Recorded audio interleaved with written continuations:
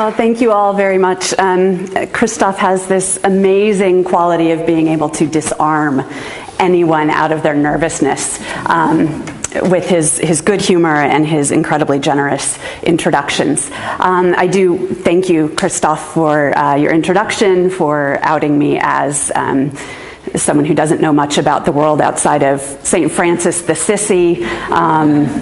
I do know him as St. Francis of Assisi now, which is good. Um, I'd also like to thank the RCC staff, the student interns. You all are fantastic. It's such a pleasure to be here and to be working with you. Um, it's, it's a real honor. So, because I have limited time and I could actually talk for hours about this, I will get going on my talk here. Um, Aziz asked me today why I don't have euros on the pig, on my capitalist pig. And uh, it's largely because it was the Americans, the US Americans, who were behind much of the, the work here. So I realized that I, I could have been a, list, a little bit more um, culturally sensitive here and put the euro symbol on there. But anyway, I'm going to be talking about Americans. So my talk today is um, one part of a larger project and it's tentatively called Conflict in the Land of Morning Calm An Environmental History of 20th Century Korea. And see, I did it. That's not the right slide. This little thing is a real challenge to use. Okay, so that um, says Komsugangsan, and that is land of the morning calm. That is what Koreans see as the, um, the phrase that best uh, defines Korea, um, and so that's the, the, name I've chosen for my larger project.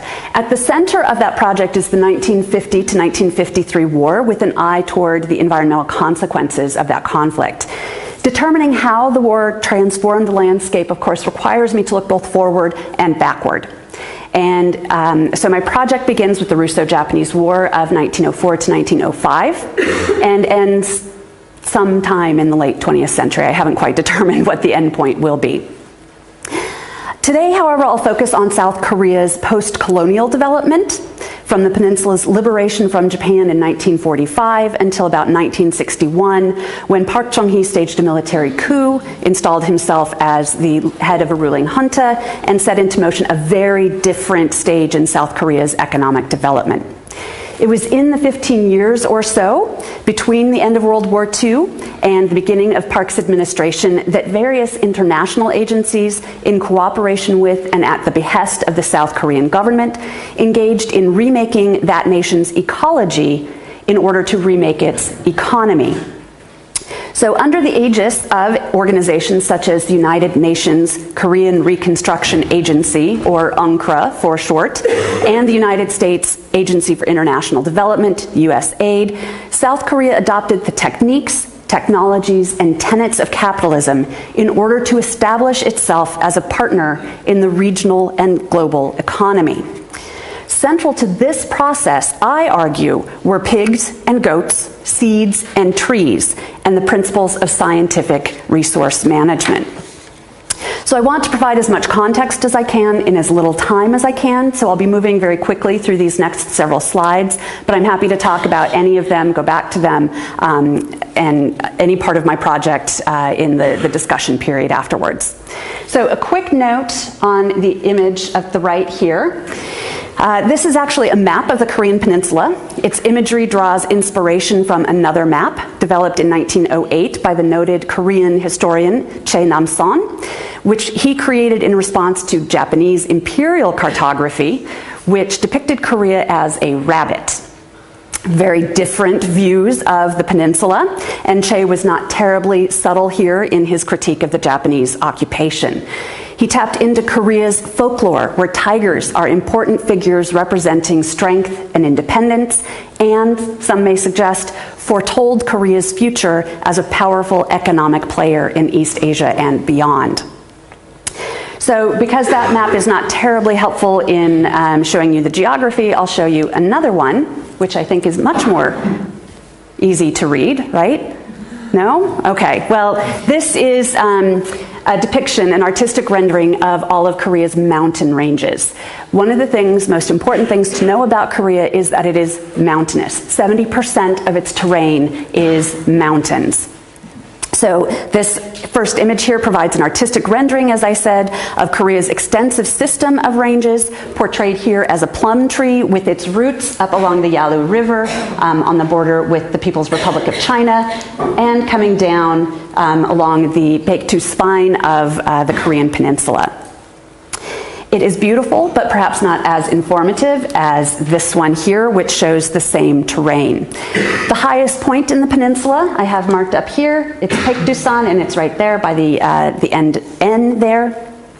And it is on the border with the PRC, and it comes in at 2,744 meters, so just over 9,000 feet. Not a terribly high mountain, not short, but not tall. Um, so, although not especially high in elevation, Korea's mountains are no gently sloping hills, as you can see in this image taken on the top of Mount Paektu in April this past year, uh, which was one of several photo ops for North Korean fighter pilots who had had the opportunity to meet with Kim Jong un right there in the center. They all look very, very happy there even though it also looks very, very cold. Um, so I emphasize Korea's mountain because, mountainous nature because it constrains land use options and, as we'll see, makes Korea's development, at least in the way it was undertaken in the period that I'm discussing, highly problematic. So topography, as important as it is, does not tell the entire story. So I'll show a few slides now to illustrate resource distribution across the peninsula. One caveat is that these images are based on data from 1972, so outside the period under consideration, but I think they still illustrate what the, the point is I'm trying to get across. So we'll start with the DPRK. Um, this is North Korean land use. On the left, you can see land utilization. This is depicting um, rice paddy farming, and that is in the, the dark orange color. The um, brownish color is dry land farming, barley, millet, wheat, that sort of thing. Green is forest land, and the um, sort of the light brown is barren land or scrub land. The image on the right shows um, a, a, variety of different industries that were present in North Korea in 1972. Um, notice that they are uh, very well um, present here on the western side of North Korea. So the DPRK constitutes approximately 55% of the peninsula's total area, but of that, only one quarter is arable, just right along in here, as you can see. In stark contrast is South Korea, the Republic of Korea, where uh, the majority of the peninsula's agricultural lands exist. And here you can see again the, um, the dark orange and the sort of the rusty yellow here. That is all agricultural land. The green is forest land, and the brown are barren or scrub and um, brush lands. So, for the moment, I'd like for you to imagine the two nations as a single country because that's what it was when my story really begins, with the end of the Second World War and the arrival of the United Nations. UN victory over Japan, which had claimed Korea as a colony beginning in 1911, promised a new era for the Korean Peninsula, including self government and domestic economic growth fueled by natural resource development. Although its primary mission was to repatriate Japanese military and bureaucratic personnel, the UN took an early interest in Korea's economic recovery and development, sending agricultural and industry experts along with military advisors.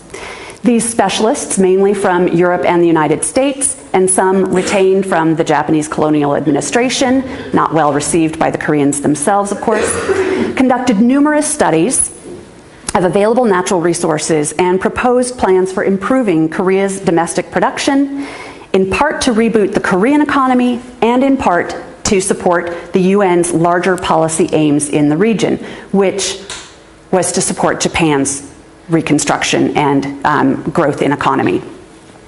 These studies and their recommendations reflected a belief on the part of the UN personnel that an industrialized capitalist economy based on extensive scientific use of well managed natural resources would help establish democracy in Korea, thus enhancing economic and political stable, uh, stabilization regionally and globally. These plans assumed a unified Korea. But as we all know, there are two Koreas. As the maps I've shown suggest, division of the peninsula was highly problematic. You can see again that most of the arable land is here, most of the minerals and industrial resources are here. So, even beyond the obvious social and political reasons, this had implications for development. Division occurred in 1945 when the United Nations established two administrative zones one in the north, headed by the Soviet Union, and one in the south, led primarily by the United States. The division was intended to be temporary, but it became permanent with the election of two governments in 1948, one in the north, one in the south. With that political divide, which became reified on the landscape by the war, the DPRK's ability to grow sufficient food was greatly diminished, and the Republic of Korea lost nearly all access to mineral and industrial resources, including the ability to heat and power to generate heat and power domestically from anything but wood-based products. So you can see where I am going here. This is a very difficult position for the Koreans and the Korean Peninsula to be in. The war is, of course, an important part of my project, but I'm not going to talk too much about it today because I want to talk more about um, pigs. I know you came to hear about livestock, not about bombs, um, but I would like to show a few maps to show the general trajectory of the military operations, um, as well as a few wartime images to illustrate the most striking environmental consequences of the war because I, I would argue, and I'm not alone in that, that the conflict foundationally shaped the ways international agencies approached reconstruction and economic development in South Korea. So I will go through these fairly quickly. They are just to demonstrate that the war affected every aspect of the peninsula. The map on the left is the initial uh, invasion of Republic of Korea territory by the DPRK, the first capture of Seoul. Less, uh, just over one month later, the North Korean forces had pushed the Republic of Korea forces down to what is called the Pusan perimeter here. And it was at that moment that the United Nations became involved in this um, originally internal conflict. So the left-hand image here shows uh, MacArthur's brilliant plan to move UN forces behind the lines of North Korea to distract them from the Pusan perimeter and get them engaged farther up on the peninsula. And that is in fact what happened and the United Nations actually pushed into North Korea all the way to and beyond um, the border, the Yalu River border with the People's Republic of China.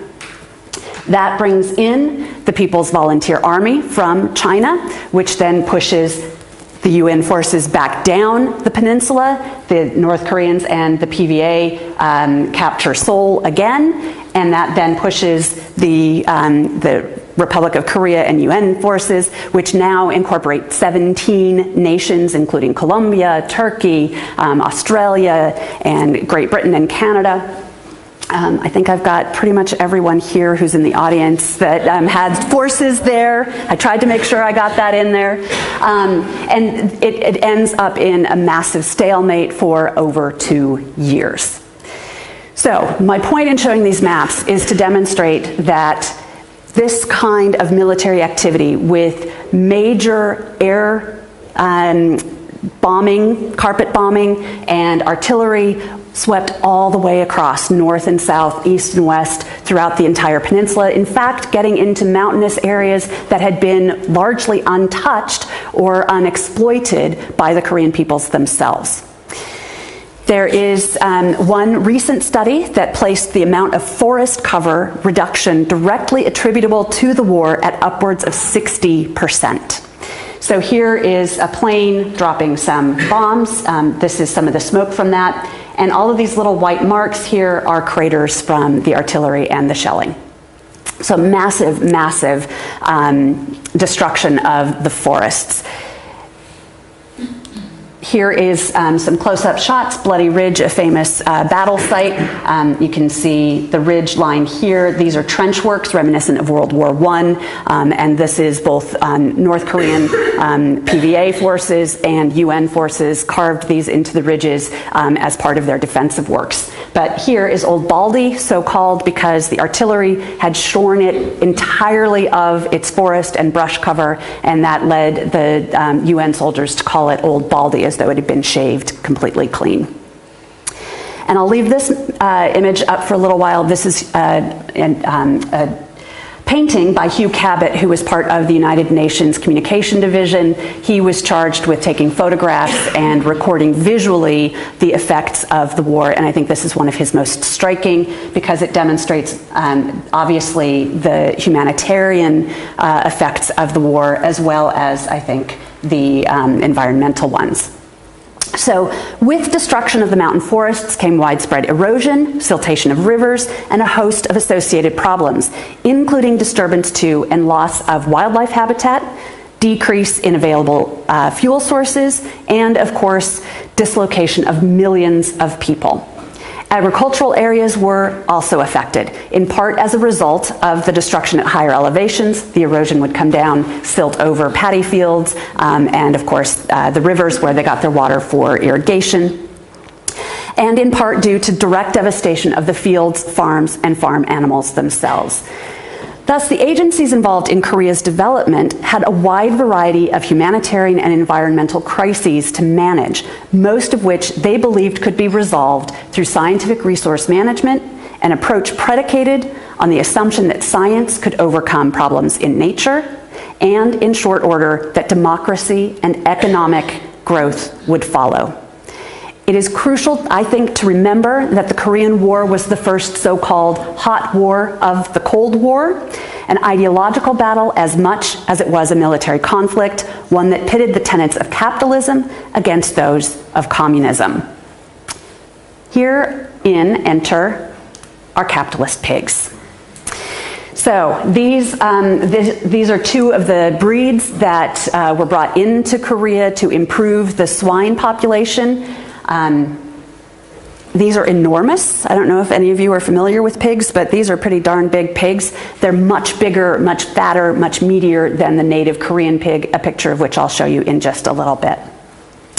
So, as I mentioned, uh, there were a number of international agencies working in South Korea, but for the sake of time, I will focus today on the work of, the, of UNKRA. Um, the UN General Assembly established UNKRA on December 1st, 1950 right when the war is getting going, and identified its purpose as twofold, stating in the agency's founding document, quote, the, the, creation of a United Nations program of relief and rehabilitation in Korea is necessary both to the maintenance of lasting peace in the area and to the establishment of the economic foundations for the building of a unified and independent nation.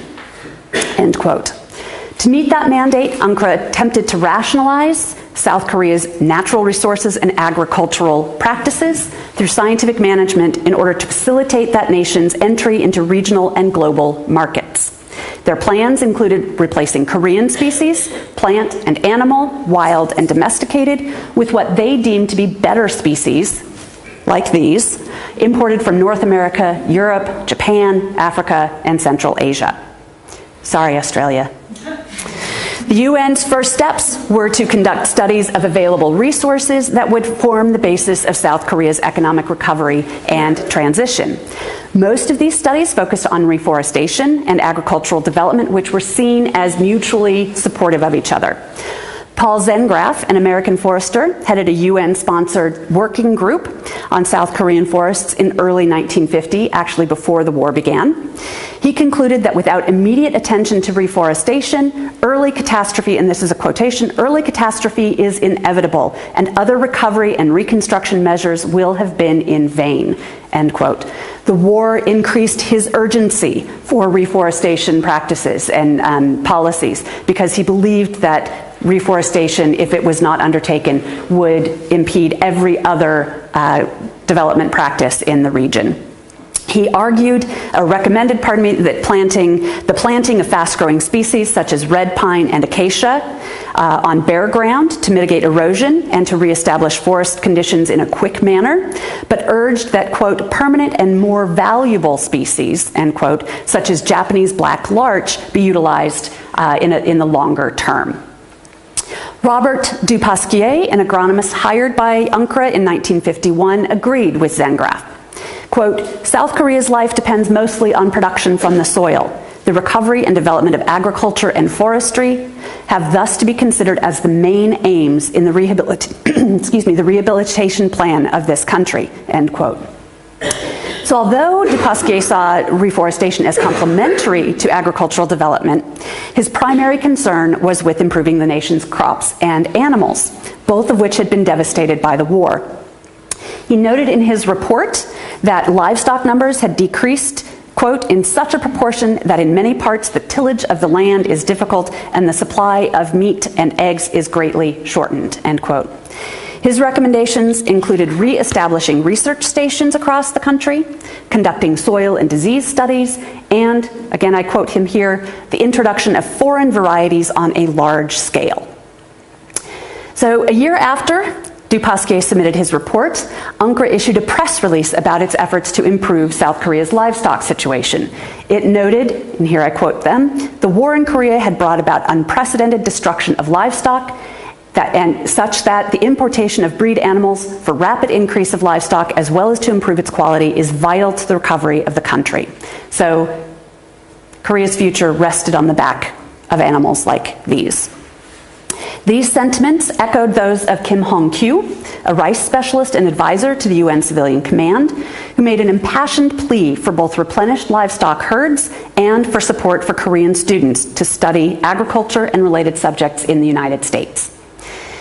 Kim reported that the cattle population in Korea since uh, June 25th, between June 25th and December 31st, so within the first six months of war, the cattle population had decreased by 45 percent Dairy cattle and horse numbers had declined by nearly a quarter, hogs and poultry by almost 75%, sheep and goats by half, rabbits by 38%, and honeybees by 48%. Dire circumstances indeed. To address these deficiencies uh, raised in Dupasquier's report and affirmed by Kim's request and um, the UN reports, UNKRA implemented the Heifer Project and the Improved Seed Imports Project. Thurl Metzger, a farmer and agronomist from the United States, led the Heifer Project, which you might know better today as Heifer International. Metzger worked with stock experts in the United States, Canada, and Japan to find suitable goats, pigs, and chickens to supplement South Korea's dwindling supplies. In August 1952, Metzger reported in a newsletter to his supporters that initial shipments of livestock to Korea were successful. And I'm quoting him here these included 600 cases of hatching eggs, 297 purebred hogs. It was very important that the, the uh, livestock was purebred, um, and 95 Saanen goats. Saanen goats are from Switzerland. Many of you may know that. Each case of eggs, so 600 cases, each case of eggs contained 30 dozen. And if my math is correct, and if it's not, let me know later, um, equaled a dozen, a, a total of 18,000 dozen. That sounds like a lot of eggs. Maybe it's 1,800, but it seems like 18,000 to me. Um, that were sent from Korea to, uh, to Korea from American chicken breeders in a single year. The pigs and goats came from Des Moines, Iowa, and San Francisco, California. So here is the call for support to send goats to Korea from Heifer, uh, the Heifer Project. And I love this picture here, so I will show it to you as a close-up. There are these two little children, obviously loving their new goats. And here is a picture of the Saanen goat in case you want to see them up close. That's as close as I will ever get to a Saanen goat. Although most of the animals arrived in good health, they were not exactly what the Koreans had expected, and some controversy arose, especially over the goats. So I'm guessing this was a photo op staged with happy children people really, the P- Korean people really were not excited about these goats. Um, nevertheless, the animals became a basis for new, improved breeding stock in Korea, either to replace Korean breeds or to be interbred with them. And here is the Korean native. That's the, the breed name, the Korean native. Due to these programs in the 1950s and into the 1960s, this pig very nearly went extinct as a, di- uh, distinct breed. I'll come back to that in just a moment. So while UNKRA's immediate goal was to increase agricultural yields, both to make Korea self-sufficient and to pr uh, produce a surplus for external markets, a secondary aim was to modernize South Korean agricultural practices through the implementation of scientific research and introduction of new technologies.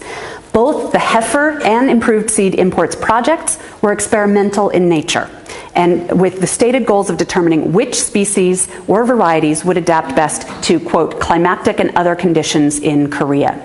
They implemented what was called climate analogs for both animals and for seeds to determine which of these species would best adapt to uh, Korea's uh, climate and weather and uh, elevation and all of these things. Um, I won't go into that, but I'm happy to talk about the, the um, climate analog uh, idea in the discussion because I think I'm running close to time. So I'll skip to a few statistics, uh, which I think are telling. According to May 1960, uh, a May 1960 report by the United States Overseas Mission, international reconstruction efforts showed promise. Agricultural production had improved with 1959 totals in grain production up by 11 percent from 1955 totals and by 19% over 1953 totals, attributed in part, um, the report reported, the report stated, that was a little redundant, um, to improved methods, importation of fertilizer, and extension of irrigation. Less than one year later, however, another U.S. mission report stated, quote, Korean agriculture is underdeveloped in the full sense of the term, end quote, with subpar yields of rice, barley, and even fruits and vegetables. This was due, according to this report, to failures in credit and marketing channels. That is, to an underdevelopment of capitalist institutions in the country. So while the pigs and the goats and the cows and the trees and the seeds had perhaps done their part, the capitalists had not. Korea's pigs weren't quite capitalist enough to sustain a vibrant economy. Indeed, South Korea's economy stagnated, falling behind North Korea's, which flourished through the 1960s and 1970s. And it was not until the 1980s when South Korea instituted more liberal land reforms and broadened its markets, and I might add, brought back the Korean native pig, which is in full flourish right now, um, that the South Korean tiger began to roar. Thank you all very much. I look forward to your questions and comments.